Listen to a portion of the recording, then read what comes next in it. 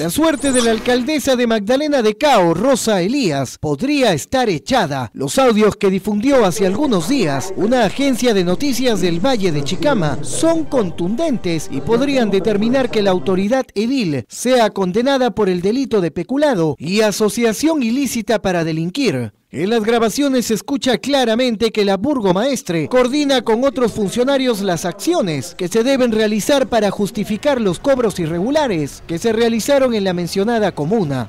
Señora Rosita, ¿usted ha sabido de ese, tema? Señora Rosita, ¿usted ha sabido, usted ha sabido o dónde está el estudio integrado y articulado nutricional alimentario? Doctor, discúlpeme, ¿cómo quiere que sustentemos si ya lo va a sacar y él tiene una deuda pendiente? Esa es mi preocupación, por eso estoy yo acá, porque yo tengo más de 100 mil soles en esto. Más de 100 mil. Y ya se va. Pero usted, usted autoriza. Todo lo que yo he cobrado, doctor, yo se lo he dado en sus manos a usted. Y no me quedo con ni un sol. Yo se lo he dado en sus manos. ¿Y hace cuánto tiempo yo le vengo diciendo, doctor, para regularizar? Y ahora me vengo con la sorpresa que Jaime está en la misma situación y también se va. Señora Rosita, si viniera Contraloría en estos momentos, ¿usted sabe a quién cogen primero? Por culpa de este señor. Hace meses.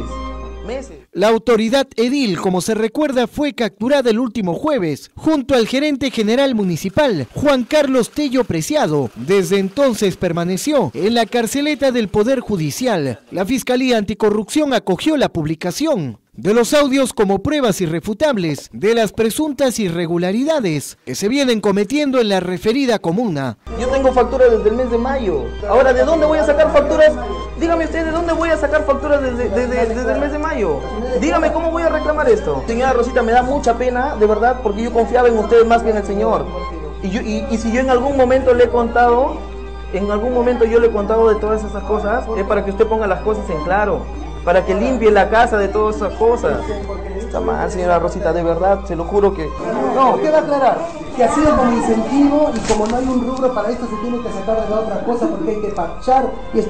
Por favor, Yo no estoy en contra de nadie, pero lo siento, de verdad lo siento, porque parece que es una persona de corazón puro, pero lamentablemente no tiene asesores. Y este hombrecito ya les estorbó.